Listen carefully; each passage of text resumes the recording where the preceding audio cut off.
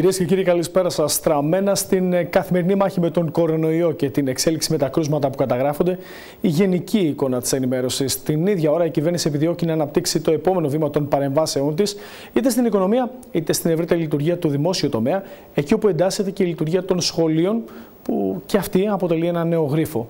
Πάμε να ξεκινήσουμε από τα όσα με εμφατικό τρόπο σημείωσε μιλώντας στην τηλεόραση Μπέστο το Υπουργό Εσωτερικών, προαναγγέλλοντας τα δύσκολα που έρχονται για την ελληνική οικονομία και σημειώνοντας πως δεν υπάρχει περιθώριο για νέο lockdown, μια και οι συνέπειες θα ήταν δραματικές. Ο κ. Θεοδωρικάκος παράλληλα εστίασε και στα όσα δρομολογούνται για την αυτοδιοίκηση με την προωθούμενη κατάργηση απλής αναλογικής. Μια εφόλη στη ύλη συνέντευξη παραχώρησε μιλώντας στο κεντρικό δελτίο ειδήσεων της τηλεόρασης Best ο Υπουργός Εσωτερικών Τάκης Θεοδωρικάκος. Με το ζήτημα της πανδημίας κυρίαρχο, ο κ. Θεοδωρικάκος υπογράμμισε πως από εμάς εξαρτάται η εξέλιξη των πραγμάτων. Και ως κοινωνία πετύχαμε το μέγιστο δυνατό αποτέλεσμα, αλλά έχετε δίκιο ότι ενδεχομένως η ίδια η επιτυχία μας τότε δημιούργησε σε κάποιους την εντύπωση ή την ψευδέστηση ότι είμαστε άτρωτοι. Άτρωτος απέναντι σε αυτόν τον αόρατο εχθρό, ο οποίος όμως είναι υπαρκτός και είναι εδώ, τον κορονοϊό, δεν είναι κανένας. Άρα πρέπει να προσέξουμε πάρα πολύ. Σε αυτό το πλαίσιο, ο κ. Θεοδωρικάκου στάθηκε ειδικά στις ενέργειες που γίνονται από την πλευρά του Υπουργείου Εσωτερικών. Αυτές τις ημέρες που μιλάμε, αυτή τη βδομάδα που μιλάμε, προσλαμβάνονται από τους Δήμους 9.500 καθαρίστρε και καθαριστές. Για πρώτη φορά σημειώνω ότι έχουν πλήρη ασφαλιστικά δικαιώματα και δεν ζουν στις μεσαιωνικές υποχρεώσεις που είχαν μέχρι πέρσι. Με αυτόν τον τρόπο όλοι μπορούν να, να είναι σίγουροι ότι τα παιδιά θα είναι ασφαλή και σίγουρα μέσα στο σχολείο Επίσης το Υπουργείο Εσωτερικών με εντολή του Πρωθυπουργού διασφάλισε την δωρεάν παροχή μάσκας, επαναχρησιμοποιούμενης φασμάτινης μάσκας. Όσον αφορά το δικό του μήνυμα. Δεν υπάρχει τίποτε πιο σημαντικό που μπορεί κανείς να κάνει από το να φορά μάσκα. Η μάσκα θα γίνει τμήμα της ζωής μας, όλων μας, όχι μόνο των παιδιών μας στα σχολεία, για όσους μήνες χρειαστεί. Κατηγορηματικός και κάθετος ήταν ο Υπουργός Εσωτερικών για το ενδεχόμενο της επιβολής ενός νέου lockdown. Θα γλιτώσουμε, το βάζω έτσι εισαγωγικά, βάζοντας όλους μέσα σε αυτήν την κατάσταση, ένα νέο lockdown που σίγουρα θα έχει περαιτέρω συνέπειες. Δεν αντέχουμε να κάνουμε lockdown. Θέλω να είμαι πολύ σαφής και ξεκάθαρος. Οι συνέπειες θα είναι δραματικές. Ο κ. Θεοδωρικάκος, αφού αναφέρθηκε αναλυτικά στα όσα έχουν δρομολογηθεί στις ψηφιακές υπηρεσίες, εξήγησε και τα όσα βρίσκουν πλέον εφαρμογή στην εξυπηρέτηση στο δημόσιο τομέα. Με το κλιμακούμενο ωράριο για να αποφεύγει το συγχρονισμός, την υποχρεωτική χρήση της μάσκας για εργαζόμενους και πολίτες και την τηλεεργασία, όπως και την παροχή αδειών. Διότι το είπαμε και το εννοούμε ότι αυτό που μας ενδιαφέρει πάνω απ' όλα είναι η ανθρώπινη ζωή. Να προστατεύσουμε την ανθρώπινη ζωή. Άρα, ο δημόσιος τομέας λειτουργεί απολύτως προετοιμασμένος. Έχουμε επεξεργαστεί και μια σειρά σενάρια για οτιδήποτε άλλο χρειαστεί το επόμενο διάστημα. Σε ό,τι τώρα έχει να κάνει με τα έργα και την προετοιμασία πρέπει να τρέξει από τους Δήμους. Διότι έχουμε προβλέψει για τους μικρότερους Δήμους που έχουν πρόβλημα στην προετοιμασία 100 εκατομμύρια ευρώ για μελέτες, μόνο για μελέτες, για να μπορέσουν να προετοιμάσουν τα έργα. Και να γίνει και γρήγορα ουσιαστικά. Και ένα staff μηχανικών της ΕΤΑ, της Ελληνικής Εταιρείας Τοπικής Ανάπτυξης και Αυτοδιοίκησης, το οποίο θα διατεθεί προς τους Δήμους για να τους αξιοποιήσουν για την πραγματοποίηση τόσο των μελετών όσο και για την παρακολούθηση των έργων από τη στιγμή που θα αρχίσουν να γίνονται πραγματικότητα. Δεν υπάρχει πλέον δικαιολογία καθυστέρηση. Όχι, δεν υπάρχει καμία, δεν υπάρχει καμία δικαιολογία. Στο επίπεδο των έργων, ο κ. Θεοδωρικάκος προανήγγειλε την αλλαγή του νόμου 4412, ενώ από την ε, πλευρά του απάντησε και για τον εκλογικό νόμο, δίνοντας την διάσταση της κατάργησης απλής αναλογικής. Δεν έχει καθυστερήσει, αλλά νομίζω ότι οι πολίτες θα μας έκαναν κριτική αν την περίοδο του κορονοϊού αυτό που επικρατούσε ως προτεραιότητα ήταν η αλλαγή του εκλογικού νόμου της αυτοδιοίκησης. Είμαστε έτοιμοι να το κάνουμε. Θα το συζητήσουμε και με τους δημάρχους και με τους περιφερειάρχες. Θα το συζητήσουμε με όλο τον κόσμο της αυτοδιοίκησης. Θα το συζητήσουμε και με τα άλλα κόμματα. Γιατί θα επιδιώξω όπως το κάνω πάντοτε τις ευρύτερες δυνατές συνενέσεις.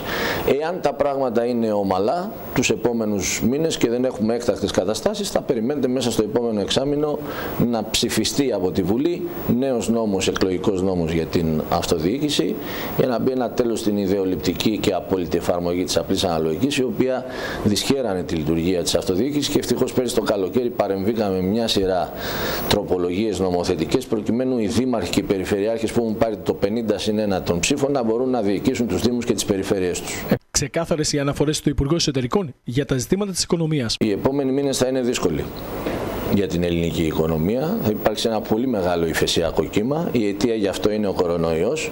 Το ίδιο συμβαίνει σε ολόκληρη την ανθρωπότητα. Ο Κυριάκος Μητσοτάκης πέτυχε να πάρουμε πολύ σημαντικά ποσά, πολλά δισεκατομμύρια ευρώ. 19 δις ευρώ είναι μόνο χρήματα τα οποία είναι όχι δανεικά, είναι επιχορηγήσεις προς την ελληνική οικονομία. Αυτά όμως υπολογίζουμε ότι θα πέσουν στην πραγματική οικονομία ύστερα από ένα χρόνο. Άρα έχετε δίκιο ότι ο χρόνος που έρχεται θα έχει πολύ μεγάλες δυσκολίες. Πρέπει να είμαστε όλοι προετοιμασμένοι γι' αυτό. Ο Πρωθυπουργός θα αναφερθεί σε αυτά στην ομιλία του στις 12 Σεπτεμβρίου στην Θεσσαλονίκη. Κάλεσμα από τον Υπουργό Εσωτερικών για έναν ε, συναγωνισμό ενότητας και συνεννόησης από όλους. Η αισιοδοξία μου βρίσκεται στο ότι οι Έλληνες στα δύσκολα βάζουμε τον καλύτερο εαυτό μας και ενώνουμε τις δυνάμεις μας.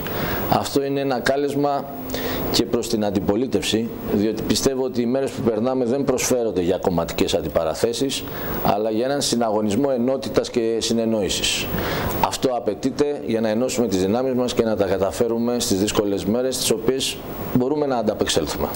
Ακούσαμε λοιπόν τον κύριο Θεοδωρικάκο, ο οποίος βρέθηκε εκεί στη Μεσσηνία. Στην άκρη της τηλεφωνικής μας επικοινωνίας, ο Δήμαρχος Μεσίνη, ο κύριος Γιώργος Αθανασόπουλος. Καλησπέρα σας, κύριε Δήμαρχε. Καλησπέρα, κύριε Γαλλόπλε, σε εσάς και στους τηλεδέατε σας. Να ξεκινήσω με το έργο, το μεγάλο έργο της μεταφοράς του νερού από το πίδημα στην Καλαμάτα, που φαίνεται ότι θα καλύψει τις ανάγκες ε, και του δικού σας Δήμου και σίγουρα πρόκειται για μια πολύ σημαντική παρέμβαση. Ε, πράγματι ένα πολύ σημαντικό έργο υποδομής. Εξέφρασα και εγώ την ικανοποίησή μου και τις ευχαριστίες στον Υπουργό. Ε, περιλαμβάνει ένα κομμάτι αυτού του έργου δίκτυο που φέρνει νερό στην Ασύνη. Είναι γύρω στα 7 χιλιόμετρα. Ε, η αλλαγή είναι ότι και στη διατομή αλλά και στο υλικό είναι αμύαντος, επομένως αλλάζει αυτό και τελειώνουμε. Ε, και το άλλο είναι ότι αυξάνεται η διατομή από αφή 300 αφή 400. Επομένως μας δίνει τη δυνατότητα για περισσότερες ποσότητες νερού τα επόμενα χρόνια όπου οι ανάγκες ε, θα αυξηθούν λόγω και της επικείμενης αύξησης ε, του πληθυσμού. Είναι πραγματικά ένα πολύ σημαντικό έργο υποδομής, αλλά γενικότερα και το τόνισα και στον κύριο Υπουργό, ότι τα έργα της ίδρυυσης είναι πάρα πολύ σημαντικά από εδώ και στο εξής, γιατί και λόγω της έλλειψης νερού, αλλά και λόγω των αυξημένων αναγκών τα επόμενα χρόνια, θα πρέπει να ανανεώσουμε το δίκτυο ώστε να μειωθούν και οι οποιοδήποτε έτσι διαρροές, αλλά και να υπάρχει ένα σύγχρονο δίκτυο που θα εξασφαλίζει ε, νερό, αρκετή ποσότητα νερού, ε, χωρίς ε, σπατάλες. Βέβαια η σπατάλη είναι και άλλα θέματα, τα οποία ε, αφορά και άλλα, και άλλα θέματα, τα οποία εμείς πραγματικά τα βλέπουμε, τα κοιτάμε και προσπαθούμε να τα... Πάντως είναι γεγονός ότι και από την πλευρά της ΔΕΙΑ Μεσίνης έχουν εξελιχθεί μια σειρά από παρεμβάσεις και το τελευταίο χρονικό διάστημα για την αντιμετώπιση μιας σειράς ε, προβλημάτων που έχουν παρουσιαστεί και στις δημοτικές ενότητες. Πραγματικά, πραγματικά. Το φετινό καλοκαίρι ήταν πάρα πολύ δύσκολο για την Νότια Βελοπόννησο. Και εμείς είχαμε πολλά προβλήματα ε, σε τοπικές κοινότητες, ειδικά τις, ε, την περίοδο της αιχμής, και γύρω στο 15 Αύγουστο, 5 μέρες πριν, 5 μέρες μετά. Αλλά η ΔΕΙΑ με το προσωπικό της έδωσε έναν ε, αγώνα ε, και πραγματικά τα κατάφερε και δεν είχαμε προβλήματα που θα οδηγούσαν σε δύσκολες καταστάσεις. Σε αυτό ε, εξέφρασα και την ικανοποίησή μου και τις ευχαριστίες στον Υπουργό, γιατί το Μάιο υποβάλαμε ένα αίτημα για υδροφόρα ε, και πραγματικά ανταποκρίθηκε αμέσως στο Υπουργείο και τώρα έχουμε την υδροφόρα. Υπήρξε η χρηματοδότηση, πήραμε υδροφόρα και ε, έχει τεθεί στη διάθεση των πολιτών ώστε να μπορούμε να συμπληρώνουμε τις δεξαμενές με νερό πόσιμο σε δύσκολες καταστάσεις. Και να σας ρωτήσω και για τα ζητήματα τα οποία τέθηκαν στον Υπουργό Εσωτερικών γενικά και τα αυτοδιοικητικά, αλλά φυσικά και το θέμα του κορονοϊού ήταν ένα από αυτά που κυριάρχησε, μια και όλη η αυτοδιοίκηση καλείται να παίξει ένα σημαντικό ρόλο σε αυτή την νέα ε, καθημερινότητα που ξεκινάει με το φθινόπωρο. Πραγματικά ο αγώνας ε, για την καταπολέμηση της εξάπλωσης του κορονοϊού συνεχίζεται ε, και θα πρέπει όλοι να είμαστε πολύ πιο προσεκτικοί και ε, πιο συγκεντρωμένοι σε αυτό το στόχο λόγω και της επικείμενης έναρξης των σχολείων την επόμενη, τις επόμενες ημέρες. Ε, και αυτό πραγματικά ήταν ένα σημείο ε, που κυριάρχησε στη συζήτηση. Πρέπει όλοι να ετοιμαστούμε να αντιμετωπίσουμε τη νέα αυτή περίοδο. Ε, το Υπουργείο έχει κάνει κάποιες παρεμβάσεις. Ήδη τελειώνει το θέμα, λύγει το θέμα οριστικά με το εργασιακό καθεστώς των καθαριστριών. Όλοι οι Δήμοι έχουμε αυτές τις μέρες την, το διαγωνισμό και την προκήρυξη εξέλιξης. Την επόμενη εβδομάδα θα έχουμε καθαρίστρες με ε, μόνιμο καθεστώς εργασίας και αυτό λύνει πολλά προβλήματα, ειδικά τη δύσκολη αυτή περίοδο του κορονοϊού. Ε, επιπλέον σήμερα ήρθε μια έξτρα χρηματοδότηση για όλους τους Δήμους για προμήθεια μασκών όπου θα μπορέσουμε και θα έχουμε τη δυνατότητα για να προμηθεύσουμε με μάσκες τους μαθητές των σχολικών μονάδων. Γενικά πρέπει να προσέχουμε όλοι, πρέπει να ε, με τη δέουσα σοβαρότητα να αντιμετωπίζουμε το θέμα του κορονοϊού, να ενημερωνόμαστε και ο Δήμος πραγματικά, οι, οι δημοτικές αρχές και ο πρώτος βαθμός αυτοδιοίκησης και ο δεύτερος ε, έχουν πολύ σημαντικό ρόλο να παίξουν και να συμβάλλουν σε αυτό το μεγάλο στόχο. Να σας ευχαριστήσω πάρα πολύ. Καλή συνέχεια. Εγώ και καλή ευχαριστώ δύναμη. κύριε Καλόπουλε, να είστε καλά. Πάμε τώρα σε ένα θέμα ε, που έρχεται από την ίδια την κοινωνία. Ο λόγος για έναν καλαματιανό, ο οποίος αντιμετωπίζει σοβαρά προβλήματα υγείας και παραμένει αβοήθητος σε ένα κατάλληλο σπίτι. Με μοναδικό εισόδημα ένα επίδομα 300 ευρώ. Η πολιτεία σε όλες τις εκφάνσεις και σε αυτή την περίπτωση δυστυχώς απούσα. Δεν μ' αναγνωρίζετε γιατί έλειπα καιρό Τα δάκρυα μου δεν σας λένε κάτι Έχω φράγκο δεκάρα πάνω μου τσακιστή είναι 45 ετών και εδώ και πολλά χρόνια παλεύει με τη σκλήρινση κατά πλάκα. Τον τελευταίο καιρό, ωστόσο, η κατάστασή του έχει επιδεινωθεί και είναι εξαιρετικά δύσκολο να εξυπηρετηθεί μόνος του. Ο Κώστας Κοτρονάκης ζει σε ένα ετοιμόρροπο σπίτι στο Πέταλο, στο τέλος ενός δρόμου που δεν είναι προσβάσιμος παρά μόνο δικός και με 300 ευρώ το μήνα προσπαθεί να επιβιώσει χωρίς να έχει κανέναν πέρα από ένα φιλικό ζευγάρι και απλούς πολίτες που ευαισθητοποιήθηκαν. Ούτε που λένε ότι υπάρχει βοήθεια για το σπίτι. Εγώ δεν έχω δει ούτε βοήθεια για το σπίτι ούτε τίποτα. Πείτε μου εκείνες τις ιστορίες σας που κάνουν τα καλάμια να λυγίζουν. Αν μου φέρει και έχει μπορέσει ο φίλος και έχει μαγειρέψει η γυναίκα του και μου φέρουν εκείνη ένα πιάτο.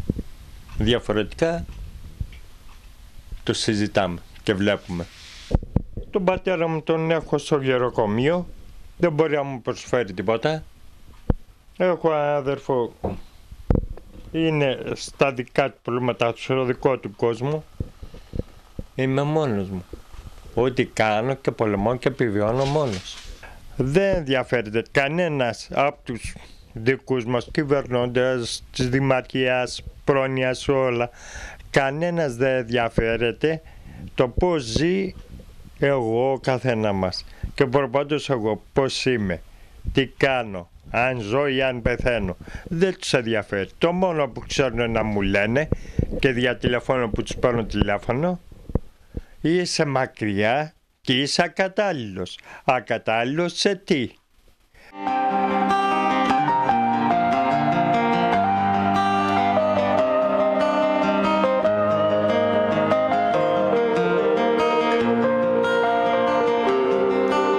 Με δυσκολία θα κάνω μπάνιο αν θα έχω νερό. Εδώ πάνω, όχι μόνο εγώ και άλλοι έχουμε ζήτηση για νερό, νερό δεν έχουμε.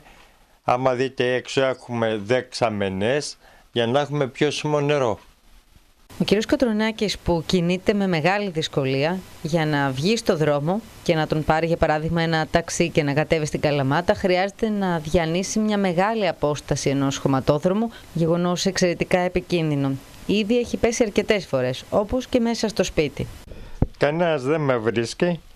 Σούρνομαι σαν το φίδι μέχρι να συνέλθω μπορέσω για αυτό στο τηλέφωνο αλλά και πάλι να ειδοποιήσω να έρθει ποιον.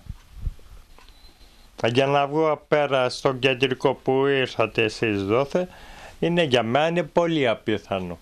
Θα πέσω στο δρόμο. Δεν μπορώ να περπατήσω. Πολλές φορές έχω πέσει. Και με έχουν βρει άλλοι άνθρωποι. Αυτό είναι το σπίτι στο οποίο ζει μόνος του ο κύριος Κοντρονάκης.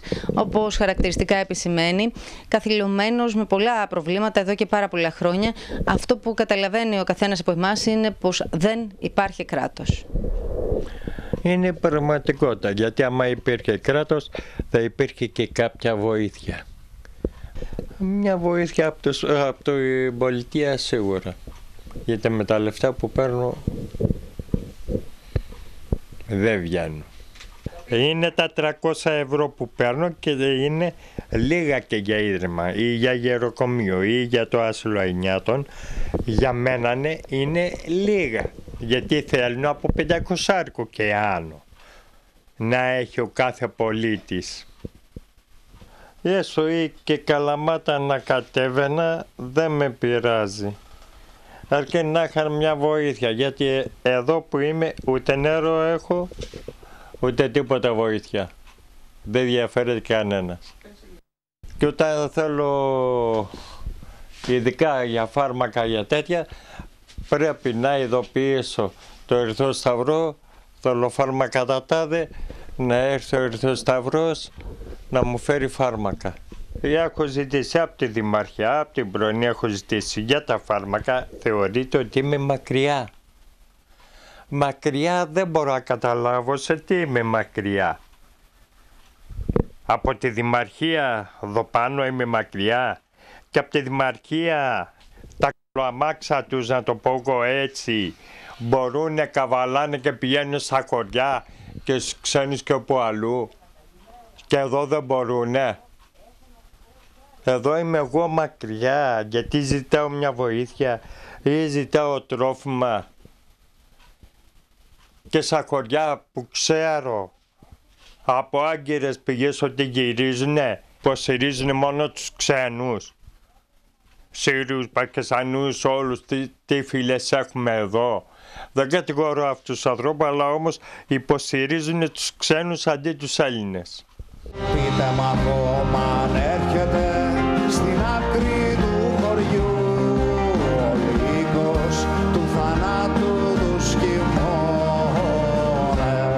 Δεν υπάρχει πάνω απ' όλα κράτος. Δεν υπάρχει κράτος. Αν υπήρχε κράτος θα κοίταγε και τους συμπολίτες κάπως να νοιαζότανε. Τι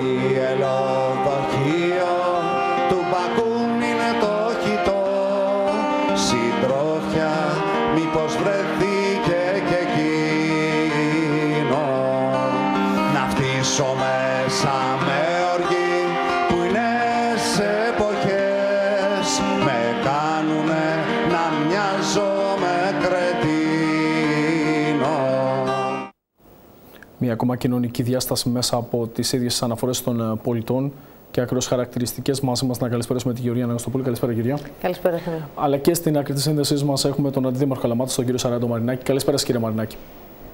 Καλησπέρα, κύριε Κανελόπουλε. Καλησπέρα, κύριε Αναγνωστοπούλου. Νομίζω ότι είναι πολύ αυτονόητο το ερώτημα. Αρχικά, υπάρχει βοήθεια προς αυτόν τον άνθρωπο και γιατί τα αυτονόητα δεν πρέπει να αντιμετωπίζονται έτσι όπως πρέπει; Κύριε Κανελόπουλε, θα μου επιτρέψετε να ξεκινήσω λίγο νωρίτερα από αυτό που περιέγραψε η κυρία Αναγνωστοπούλου και να πω ότι σε αυτό το χώρο αποτελεί τη μόνιμη κατοικία για αρκετά χρόνια τους συμπαθέστατους συμπολίτη μας.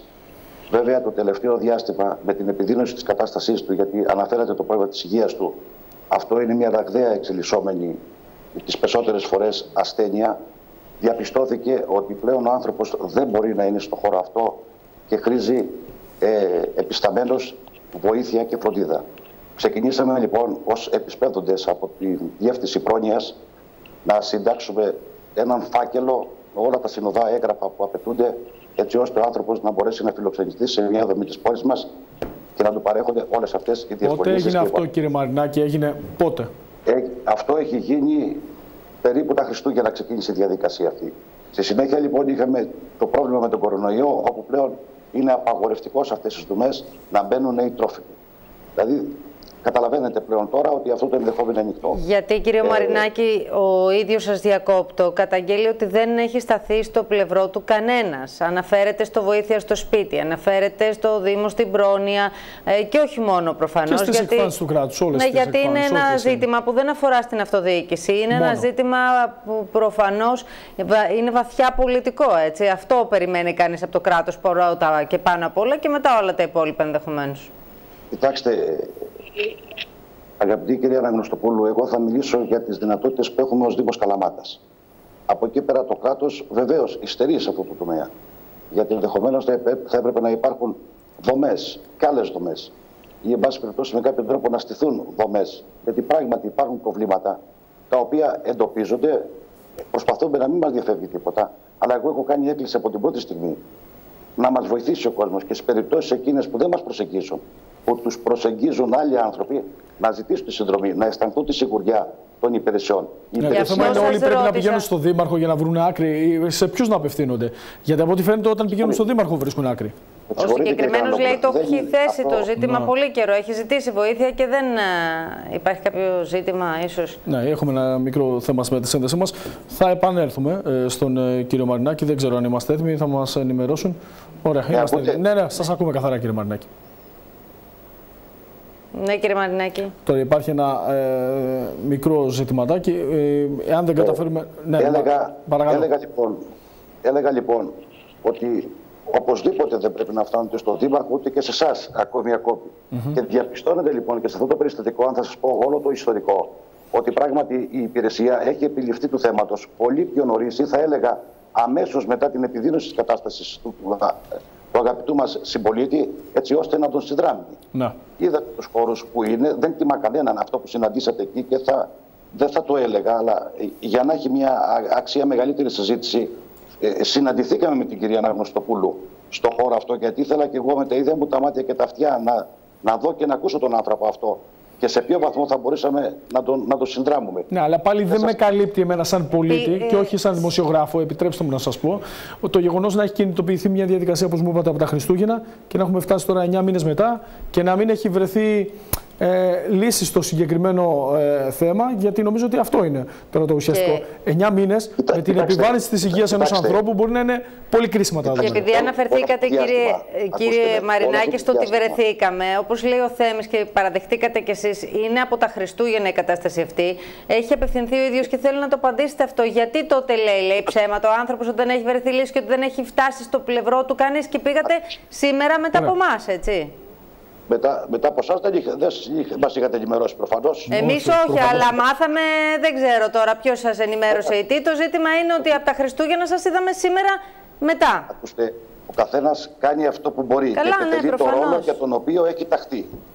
Αυτό κάνει ο καθένας μας. Λοιπόν, θα σας έλεγα λοιπόν, αν με αφήνατε, ότι από τότε έως και σήμερα, και δεν σταματάμε σήμερα, κάνουμε αυτό που πρέπει και θα το φτάσουμε, θεωρώ, στο τέλος το άμεσα επόμενο διάστημα. Mm -hmm. Δεν εγκαταλείφθηκε ο άνθρωπος. Υπήρχε, υπήρχε επικοινωνία μαζί του. Μας διαβεβαίωναν ότι κάποιοι του παρήχαν ένα υποστηρικτικό περιβάλλον από ανθρώπους που ήταν γύρω του και κάποιοι άλλοι που θέλουν να διατηρήσουν και την ανωνυμία τους ήταν σε γνώση των υπηρεσιών όλα αυτά ότι κάποιοι τον προσεγγίζουν και τον βοηθούν. Ωραία. Και βεβαίως Για να αφήσουμε το παρελθόν. Τώρα τι θα γίνει; Δεν χρειάζεται να σας πω. Ωραία, ωραία. Ας, ας, νομίζω ότι έχουν εξελιχθεί όλα αυτά. Τώρα τι θα γίνει, λοιπόν, κύριε Μαρινάκη; Να σας πω, να σας πω σήμερα λοιπόν το αποτέλεσμα της επίσκεψης και της κουβέντας που κάναμε τον ίδιο τον, τον συμπατριώτη μας.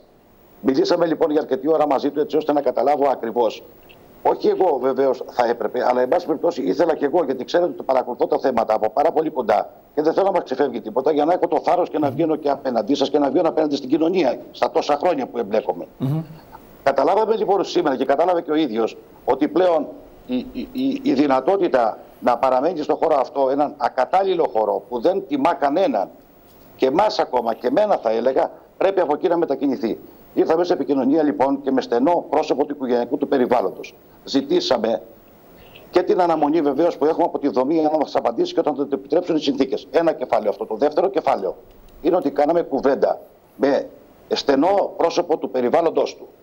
Και είπαμε λοιπόν να ξεκινήσει ως επισπεύδων κάποιες διαδικασίες και η πρόνοια να σταθεί στο πλευρό του. Υπάρχει δυνατότητα και είχε προταθεί και παλαιότερα στο συμπολίτη μας να κινηθεί προς την πόλη έτσι ώστε να τη χάνει της φροντίδας. Ακόμα, ακόμα και της βοήθειας, της κατοίκων βοήθειας, αλλά και της βοήθειας της υποστήριξης της σύντησης. Είμαστε λοιπόν σε ένα πάρα πολύ καλό δρόμο. Μιλάω με τον αδερφό που επικαλέστηκε με τις όποιες δυνατότητες και αυτός έχει και την αρρωγό την πρόνοια έτσι ώστε Κύριε Μαρινάκη, συγγνώμη, συγγνώμη. Να δώσουμε λύση και σε αυτό το θέμα. Συγγνώμη, και σε αυτό συγγνώμη. το θέμα, γιατί δίνουμε λύση σε πάρα πολλά θέματα. Και συγγνώμη, αλλά είναι δύο πράγματα. Καταρχάς, τόσο καιρό ο άνθρωπος που λέει δεν εμφανίστηκε κανείς, λέει ψέματα. Και δεύτερον, ε, επειδή λέτε να μεταφερθεί προς την πόλη και αυτό είναι και το αίτημά του. Με 300 ευρώ, πού ακριβώς να πάει, δηλαδή να του βρούμε ένα σπίτι και να πληρώνουμε αυτά τα 300 ευρώ, πώς να μετακινηθεί, πώς να ε, καλύπτει μια σειρά από υποχρεώσεις; Μιλάτε για το βοήθεια στο σπίτι. Εκεί που πόσο είναι, ένα χιλιόμετρο, δύο, ξέρω εγώ, από την καρδιά της Καλαμάτας, δυόμιση, δεν μπορεί να πάει το βοήθεια στο σπίτι; Κυρία Αναγνωστοπουλού, κυρία Αναγνωστοπουλού, ακούστε με. Υπάρχει δυνατότητα εκεί ο άνθρωπος εμφανίζεται ως. και συγχωρέστε με τώρα που μπαίνουμε σε ειδικότερα στοιχεία. Εντάξει, νομίζω να, μην, να, μην, να τα αποφύγουμε όσο Εμφανίζεται ως φιλοξενούμενος. Αν βρεθεί σε ένα, σε ένα ακίνητο που διαθέτει και κάποιο ακίνητο από ό,τι μας είπε σήμερα. Μα αυτό είναι κοινωνική πρόνοια, κύριε Μαρινάκη, να πρέπει να έχει δικό του σπίτι για να τον βοηθήσουμε και να μην είναι φιλοξενούμενος. Την ίδια στιγμή, πάντως, κύριε Μαρινάκη, ξέρετε πολύ καλά πως η φιλοξενία και προς αλλοδαπούς συμπολίτες μας, χωρίς αυτό να σημαίνει τίποτε άλλο, το ξέρετε πάρα πολύ καλά πως η Ελλάδα έχει δείξει το πρόσωπό της και εσείς δείχνετε το πρόσωπό του σας και όλες οι δομέ του κράτους δείχνουν το πρόσωπό τους έτσι όπως πρέπει να υπάρχει αυτή η ανθρώπινη φιλοξενία σε όλους τους πολίτες. Νομίζω ότι μπορεί να βρεθεί λύση. Ξέρετε το δρόμο, ξέρετε το δρόμο, εμείς δεν θα σας τον υποδείξουμε ε. από τον αέρα και ξέρετε να κάνετε και καλά και τη δουλειά σας όλα αυτά τα χρόνια χωρίς όλες αυτές οι υποθέσεις να βγαίνουν στο φως. Όμως οι πολίτες είναι αυτοί που μας αναφέρουν και οι ίδιοι οι πολίτες για να μην θεωρηθεί οτιδήποτε άλλο. Αυτό που θέλω να ρωτήσω έτσι κλείνοντας, με τους ανθρώπους που σας στέγουν στην Αγία Τριάδα, έχει γίνει κάτι; Και στο κέντρο της Καλαμάτα, δύο περιπτώσεις. Ναι, δύο περιπτώσεις. Κοιτάξτε, κάθε περίπτωση που εντοπίζετε ή εσείς ή τα μέσα ή και οι πολίτες ακόμα, δεν υπάρχει περίπτωση να μην είναι γνώση της κοινωνικής υπηρεσίας παρόλο την υποστελέχωση που έχουμε. Για το περιστατικό λοιπόν που έλαβε χώρα το, πριν δύο μέρες. Mm -hmm. Βεβαίως η υπηρεσία είχε παρέμβει. Βεβαίως είχε προσεγγίσει τον άνθρωπο και δεν θέλω να το πω, αλλά εν πάση περιπτώσει για να δείξουμε ότι είμαστε παρόντες σε όλα τα ζητήματα. Εγώ το Σάββατο το μεσημέρι προσέγγισα τον άνθρωπο αυτό και προσπάθησα, καταλαβαίνετε, Σαββατόβραδο και μια τουριστική περίοδο για την Καλαμάτα, να βρούμε έναν χώρο να φιλοξενηθεί ο άνθρωπος αυτός. Και όταν τελικά βρέθηκε ο χώρος μετά από, ευχάριστο μετά από 15 ξενοδοχεία που μίλησα, Βρήκα τον άνθρωπο και μου είπε: Ακούστε, κύριε, εγώ δεν ζήτησα βοήθεια από κανέναν. Έχω σώα στα φρένα, έχω συγκεκριμένο δηλαδή, λόγο. Η δηλώση που ζητάει βοήθεια τι είναι; Πώς; Η δηλώση που ζητούσε βοήθεια ο συγκεκριμένος άνθρωπος τι είναι; Και ε, ας πούμε ότι ε, Αυτές ήταν, έγιναν μαγικά για κάποιο λόγο. Είμαι επιστόλης στον κρόταφιο του στο τέλος, επειδή υπάρχει και ένα άλλο θέμα που θέλουμε να σχολιάσουμε που δεν σας αφορά. Ε, μάλλον κάτι πρέπει να αναθεωρήσω. Κάτι δεν γίνεται καλά. Θα τα δούμε στη συνέχεια. Απίφθινε, απίφθινε έκλεισε και ο ίδιος, έτσι. Υπαρκτό πρόσωπο, το είδαμε. Και εν πάση περιπτώσει για κάποιο λόγο λέει ότι έχει σώα στα σφρένας, αλλά δεν θέλει βοήθεια. Δηλαδή δεν τον αφήσουμε επειδή δεν θέλει βοήθεια να μένει στο δρόμο; Όχι, δεν θα τον αφήσουμε κύριε Ραγνωστοπούλου. Αλλά εγώ, αλλά εγώ μιλώντας μαζί του και παρουσία και άλλων ανθρώπων που δεν θέλω να εκθέσω αυτή τη στιγμή, μου είπε ότι εγώ έχω σύνταξη 670 ευρώ. Ήμουνα σε μια δομή και υπέγραψε κάποιος και βρέθηκα εδώ και εν πάση περιπτώσει δεν έχω ανάγκη βοήθειας. Αυτά λοιπόν θέλω να πω ότι σε αυτές τις περιπτώσεις να κοιτάμε και λίγο πιο πίσω. Να όχι κοιτάμε πιο πίσω ότι ένας άνθρωπος που λέει αυτό και μένει στον δρόμο τέσσερις μέρες είναι μια χαρά εικόνα επειδή δεν θέλει βοήθεια. Όπως επίσης και άλλος ένας άστεγος που έχουμε στο κέντρο της Καλαμάτας, εκεί κοντά στο Ζουμπούλιο. Δεν ξέρω με αυτόν τι γίνεται. Και με αυτό έχει επιληφθεί η υπηρεσία. Αυτός τι θέλει βοήθεια ή δεν θέλει; Και αυτό έχει, ζητή, έχει επιληφθεί η υπηρεσία. Κύριε Μαρινάκη, φαντάζομαι ότι. Ε, Κάνουμε ό,τι είναι δυνατόν. Αυτό δεν διαφωνεί κανένας ότι δεν κάνετε ό,τι είναι δυνατόν. Δεν σας είπε κανένας ότι δεν κάνετε τη δουλειά σωστά. Το θέμα είναι ότι όλοι αυτοί οι άνθρωποι, το ξέρετε και εσείς πολύ καλύτερα από εμάς, βρίσκονται στον δρόμο. Και όταν βρίσκονται στον δρόμο ή βρίσκονται κάτω από τέτοιες άθλιες συνθήκες διαβίωσης και υπάρχει δυνατότητα να γίνει κάτι, Α αφήσουμε όλα τα υπόλοιπα που κάνουμε και ας κλείσουμε το. Ναι, και ας εξαντλήσουμε όλα τα περιθώρια που υπάρχουν για αυτούς τους ανθρώπους. Πάνω από όλα. Αυτή η διεύθυνση πρόνοιας κάνει ό,τι είναι δυνατόν. Δεν κατηγορεί κανένας τη διεύθυνση πρόνοιας. Ούτε κανένας προσωπικά εσάς. Έως και δημοτικά, και δημοτικά μαγειρία για τη βοήθεια αυτών των ανθρώπων των ανέστιων, των εμπερίστατων. Και καλά είναι κάνει.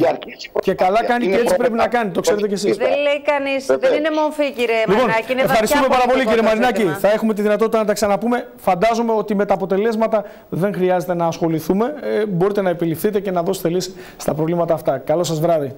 Πάμε στο... θα ξέρετε. Να είστε καλά. Πάμε τώρα στα ζητήματα που έχουν να κάνουν με τον κορονοϊό. Είναι μια δύσκολη περίοδος αυτή που διανύουμε. Σήμερα για μια ακόμη ημέρα, δεύτερη συνεχή, τα κρούσματα κάτω από 200 168 ενημέρωση από τον επιδημιολόγο τον Γκίκα Μαγιορκίνη ε, με συγκεκριμένες συμβουλές. Νέα εργαστηριακά επιβεβαιωμένα κρούσματα είναι 168, εκ των οποίων τα 20 εντοπίστηκαν κατόπιν ελέγχου στις πύλες εισόδου. Ο συνολικός αριθμός των κρούσματων ανέρχεται σε 8.987. Έχουμε έναν θάνατο επιπλέον, συνολικά λοιπόν 243 θανάτους. Σήμερα συμπληρώνονται έξι μήνες από τη διάγνωση του πρώτου κρούσματος στην Ελλάδα στις 26 Φεβρουαρίου στη Θεσσαλονίκη. Τις τελευταίες δύο εβδομάδες η επιδημία στη χώρα μας δείχνει αυξημένη δραστηριότητα με καταγραφή διαγνωσμένων κρουσμάτων περισσότερα από 200 σχεδόν κάθε μέρα. Όχι όμως σήμερα. Επίσης, τις τελευταίες δύο εβδομάδες ο αριθμός των ασθενών που έχουν διασωληνωθεί υπερβαίνει τους 20. Σήμερα έχουμε φτάσει τους 31. Από την άλλη και προς το παρόν φαίνεται ότι η δραματική αύξηση των κρουσμάτων, τάση που καταγράφηκε την πρώτη εβδομάδα του Αυγούστου και που θα οδηγούσε λογικά και σύμφωνα με επιδημικά μοντέλα σε παραπάνω από 400 κρούσματα ανά ημέρα, δηλαδή θα είχαμε ένα διπλασιασμό περίπου των κρουσμάτων που βλέπαμε στις 9 Αυγούστου, φαίνεται ότι έχει περιοριστεί.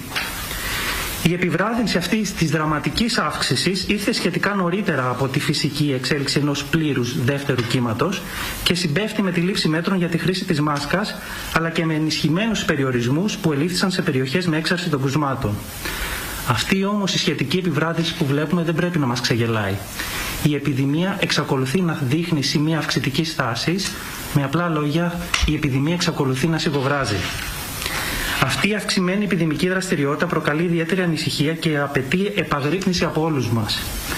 Ο ιός SARS-CoV-2, όπως και οι άλλοι συγγενικοί κοροναίοι, δεν μεταδίδεται ομοιόμορφα. Ακούσαμε λοιπόν και τα της ε, υγείας. Θα επανέλθουμε σε αυτά τα ζητήματα. Πάμε εμείς σε ένα θέμα που έχει αναδειχθεί σε πολλές διαστάσεις το τελευταίο χρονικό διάστημα και έχει να κάνει με την ανάπλαση πλατείας της Παπαντής μια σειρά από παρεμβάσεις. Ε, Γεωργία, ε, εγώ θα πω καλές και σεβαστές όλες οι παρεμβάσεις ε, και των πολιτών και όλων. Όμως τα παιχνίδια και οι επιδιώξεις γύρω από αυτές τις παρεμβάσεις δεν κρύβονται. Ε, υπάρχει και μια χαρακτηριστική ε, παροιμία σε αυτές τις περιπτώσεις. Τώρα, δεν θα μπω στο να κάνω την κρίση των απόψεων των πολιτών που είναι σεβαστές και θεμητές και όλων φυσικά. Αλλά θα μπω ε, στο να κάνω μια κρίση για κάποιους ε, που τους βάφτισαν μέχρι και ιστορικούς, που βρήκαν άλλους ρόλο ανακατοσούρας στη συγκεκριμένη κατάσταση και άλλους που βρήκαν και ρόλο πολιτικής ύπαρξης. Εδώ ο κόσμος καίγεται, συμβαίνουν όλα αυτά που βλέπουμε γύρω μας και ξαφνικά έχουν βρει μέχρι και τα κόμματα ρόλο πολιτικής ύπαρξης επάνω στην υπόθεση της ανάπλασης και των αρχαίων της Ιπαπαντής έχουν πέσει κροκοδίλια δάκρυα, έχουν πέσει μελιστάλακτα κείμενα, να έχει χρόνο να διαβάζει κανείς ε, και έχουμε και τους άλλους που το παίζουν χαλίφιδες στη θέση του χαλίφη.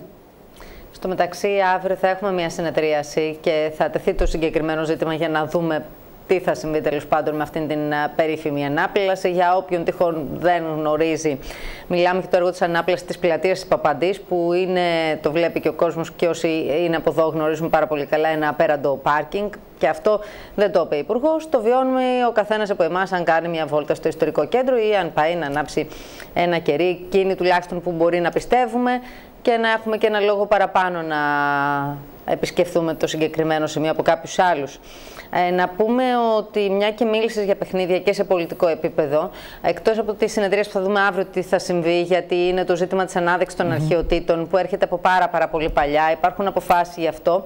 Ε, έχουμε μια κομματική παρέμβαση. Είχαμε την ε, Επιτροπή Δεν έχουμε μία, έχουμε αρκετές, εγώ θα σου πω. Ε, εννοώ ναι. τελευταία που προκαλεί αίσθηση την ε, Επιτροπή του ΣΥΡΙΖΑ. Της Εδώ υπάρχουν άλλα θέματα να ασχοληθούμε.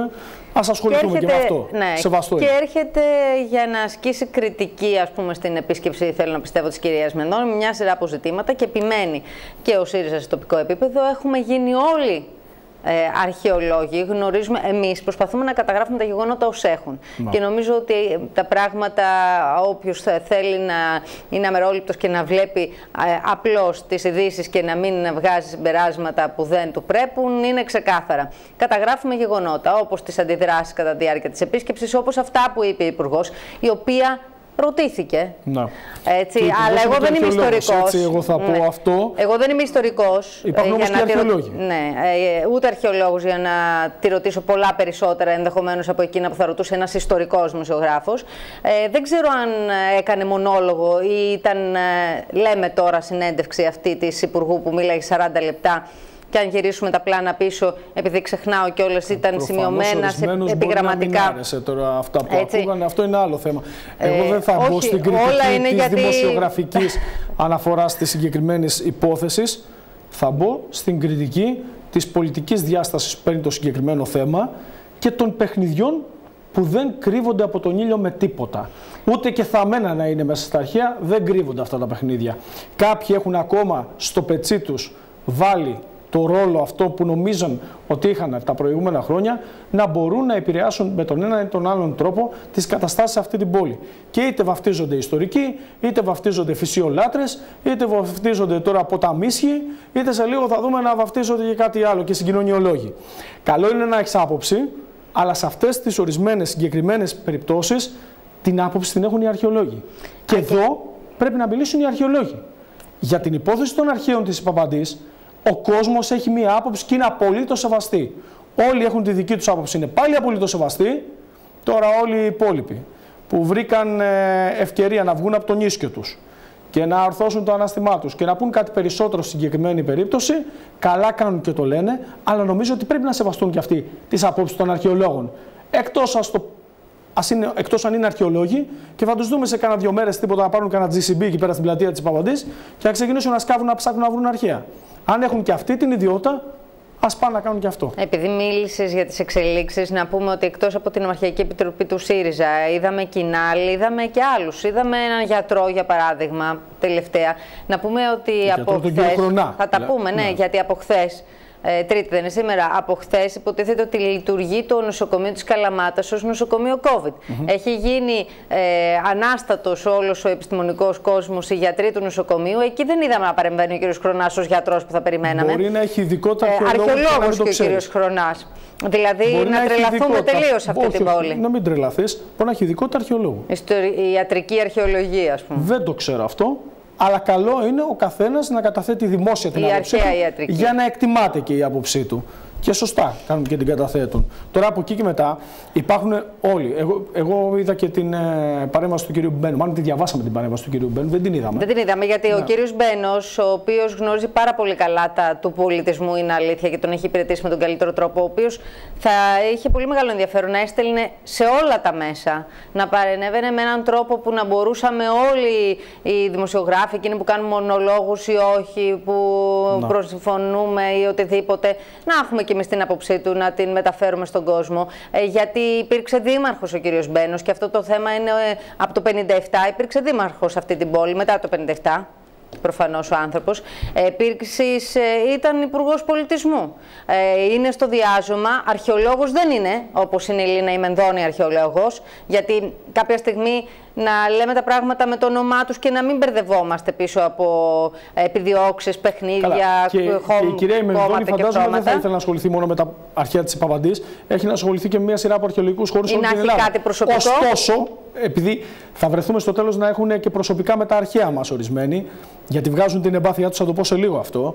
Ε, ωστόσο, υπάρχουν και πιο ειδικοί αρχαιολόγοι. Υπάρχουν και ντόπιοι αρχαιολόγοι που είναι πολύ ειδική η για κυρία Μιλίτση, που περιμένουμε με πάρα πολύ μεγάλο ενδιαφέρον, για παράδειγμα, να μιλήσει και να τοποθετηθεί στο θέμα, όπως και οι υπόλοιποι αρχαιολόγοι. Ακόμη και μια αναφορά του κυρίου Θέμελη ερμηνεύτηκε όπως ήθελε ο καθένας. Γιατί αν την ξαναδιαβάσουμε και την ξαναδούμε και την ξανακούσουμε, νομίζω βγάζουμε τα συμπεράσματά μας. Ξαφνικά ε, αγαπάμε εντός πολλών εισαγωγικών, μιλώ για κάποια κόμματα συγκεκριμένα, εκεί που είχαμε κόντρες ή δεν μας άρεσε καθόλου και τον Μητροπολίτη και ε, που σχολιάζουμε και όπως μας αρέσει τις δηλώσεις. Καλά, ε, αυτό είναι γνωστό, αλλά κάτι στην πολιτική. Από την πολιτική καούρα, από την πολιτική καούρα στην ε, ευαισθησία για την πραγματικότητα, μια υποκρισία δρόμος, θα σου πω. Ε, προφανώς και ίσως ε, και λιγότερο. Αλλά τέλος πάντων, ε, όπως πολύ σωστά επισημαίνεις, Ειδικά η κυρία Μιλίτση, όπως και οι υπόλοιποι αρχαιολόγοι, γιατί μην ξεχνάμε ότι αυτή η υπουργός είναι αρχαιολόγος.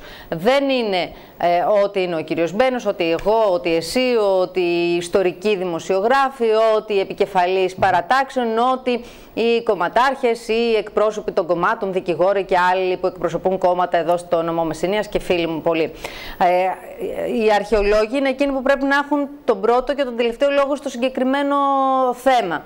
Δεν θέλει κανείς και νομίζω και οι ίδιοι δεν θέλουν ούτε τη δουλειά τους να θάψουν, ούτε ξαφνικά έπαψαν να αγαπάνε αυτό που κάνουν με προσήλωση όλα αυτά τα χρόνια, ούτε έχουν κάποιο προσωπικό, θέλω να πιστεύω, μπορώ λόγο. Να έτσι. από τις πληροφορίες που έχω ότι οι αρχαιολόγοι είναι στα κάγκελα για τη συγκεκριμένη κατάσταση και εννοώ για όλους τους ανίδεους ειδικούς που θέλουν να πάρουν ρόλο και λόγο σε αυτή την υπόθεση, εννοώ ότι δεν είναι αρχαιολόγοι. Έτσι. Ο κόσμος καλά κάνει και όλοι καλά κάνουν και καταθέτουν τις απόψεις τους και τις θέσεις τους, όμως υπάρχουν και θέματα που κάποιοι ειδικοί αποφασίζουν. Ας δούμε τι θα γίνει και με το Δημοτικό Συμβούλιο. Υπάρχει όμως και ένα άλλο ζήτημα που εμένα με ενοχλεί. Ότι βρήκαν την ευκαιρία ορισμένοι να ρίξουν ένα ανάθεμα. Να βγάλουν την εμπάθειά τους στο Δήμαρχο, στον Περιφερειάρχη, στην Υπουργό Πολιτισμού. Όλοι βρήκαν, λόγο, έτσι. Ναι, ναι, όλοι βρήκαν μια ωραία ευκαιρία. Και μια ωραία ευκαιρία με τον τρόπο που ήθελαν να την βρουν, εγώ να σου πω στη συγκεκριμένη περίπτωση.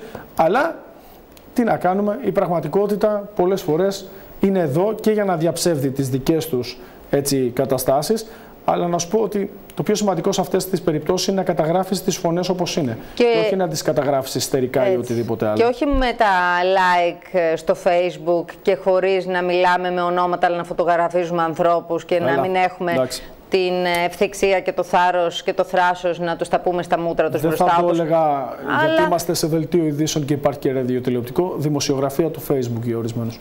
Λοιπόν, ε, Γεωργία, να σε ευχαριστήσω πάρα πολύ. Καλό βράδυ. Πάμε να συνεχίσουμε εμείς επιστρέφοντας στο ζήτημα του κορονοϊού. Ο κορονοϊός είναι εδώ και οι διαφορέ εκφάνσεις στην επανεκκίνηση της καθημερινότητας μετά το καλοκαίρι μας απασχολούν έντονα. Για τα σχολεία η μεγάλη κουβέντα έχει ανοίξει για το πώς ε, και πότε θα γίνει η επανέναρξή τους. Πάντως οι ειδικοί στο ζήτημα με την υποχρεωτική χρήση της μάσκας από τους μαθητές είναι ξεκάθαροι. Ένας γρίφος μοιάζει να είναι η υπόθεση επαναλειτουργία των σχολείων για το πότε θα ανοίξουν, αλλά και το τι θα γίνει τελικά με τις μάσκες, για τις οποίες πολλοί γονείς εκφράζουν ανησυχία. Το μήνυμα πάντως που έρχεται από τους ειδικούς και την καθηγήτρια παιδιατρικής λοιμοξιολογίας στο νοσοκομείο Αττικών Βάνα Παπαευαγγέλου είναι ξεκάθαρο. Η μάσκα αποτελεί ένα σημαντικό εργαλείο για τον έλεγχο της μετάδοσης της COVID-19 λίμωξης.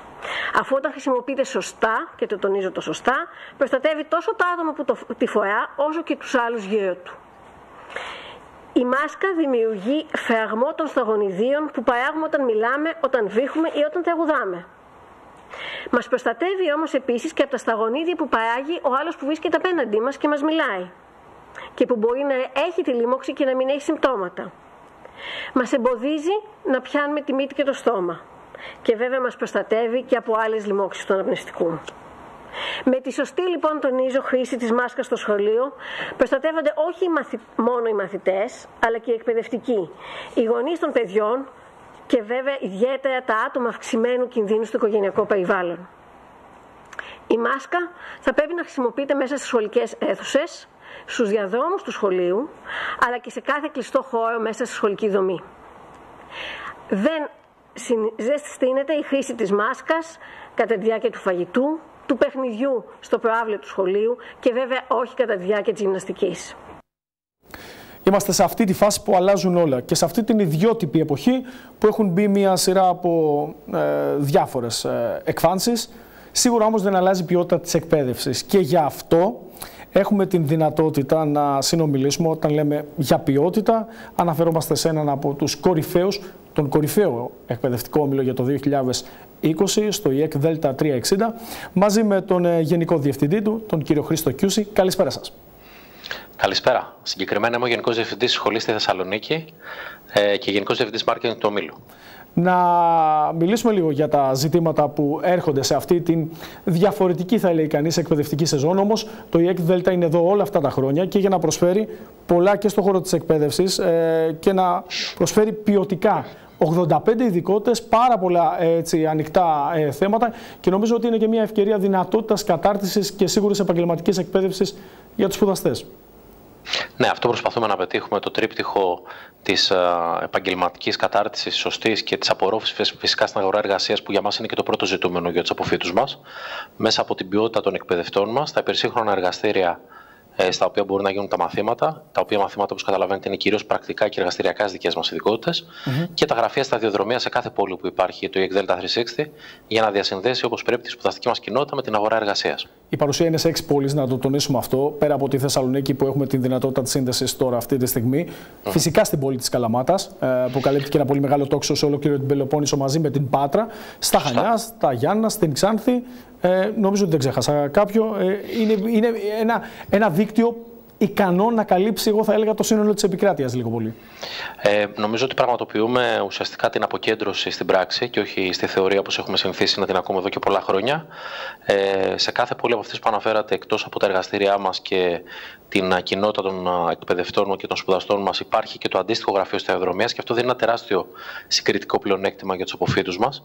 Γιατί ασχέτως με το πού θα βρεθούν στον ελλαδικό χώρο, η ζωή τα φέρει να πρέπει να μετακομίσουμε είτε για προσωπικούς είτε για επαγγελματικούς λόγους, mm-hmm. πάντα θα έχουν κοντά τους ένα γραφείο σταδιοδρομία του EXDELTA 360 για να τους στηρίξει όχι μόνο στην αρχή της καριέρας τους, αλλά και στα βήματα φέροντάς τους σε επαφή με, τις, με την προσφορά στα αγορά εργασίας που είναι πάρα, πάντα πάρα πολύ σημαντικό να επικαιροποιείται. Εγώ σε αυτό θα σταθώ. Στο κομμάτι της σύνδεσης με την αγορά εργασίας. Βγαίνοντας κάποιος από το ΙΕΚ ΔΕΛΤΑ, θα μου πείτε σε λίγο για τις ειδικότητες, βγαίνοντας κάποιος από το ΙΕΚ ΔΕΛΤΑ 360, τι είναι αυτό που παίρνει ως εφόδιο σημαντικό για να έχει αυτό το αποτέλεσμα στην αγορά εργασίας; Εκτός από την πολύ ψηλή ποιότητα σπουδών ε, στην ειδικότητα που έχει διαλέξει, μην ξεχνάτε το ΙΕΚ ΔΕΛΤΑ 360 είναι μια σχολή με ιστορία 49 ετών, που σημαίνει με ήδη πάρα πολλές χιλιάδες αποφύτων ε, στα χρόνια που έχουν περάσει, οι οποίοι είναι ήδη ενεργοί στην αγορά εργασίας.